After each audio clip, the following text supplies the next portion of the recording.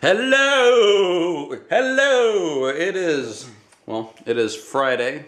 A lot of people, that's their favorite day of the week. Not mine. I like every day of the week. They're all good. And they're all bad at the same time.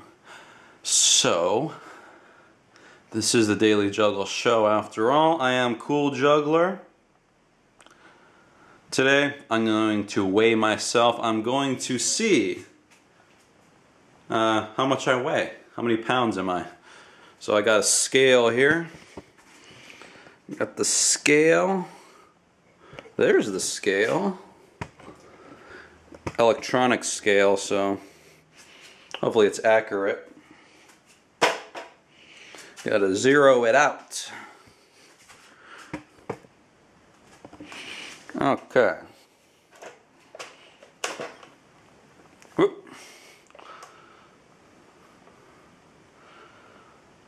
202 pounds. 202 pounds. Okay. Interesting. Um, you know, um, 202 pounds, uh, I think most of that's in my brain. I got a heavy brain. So most of the weight's coming from my head, and my brain. You know, I got all that imagination all that uh, knowledge, all the all that gray matter in my brain. So my brain's pretty heavy. Uh, us us jugglers, we have uh, we're we're a smart group of people, you know, because juggling actually increases the gray matter in the brain. There have been multiple studies on this, and uh, so that's pretty awesome, pretty gnarly. So let's see how much my head weighs. Yeah, how much does my cabeza weigh? Okay, okay, let's see here. There's the scale.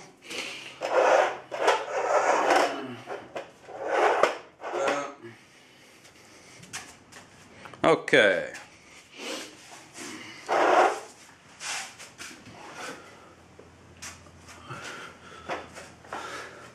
It's like a bad pillow.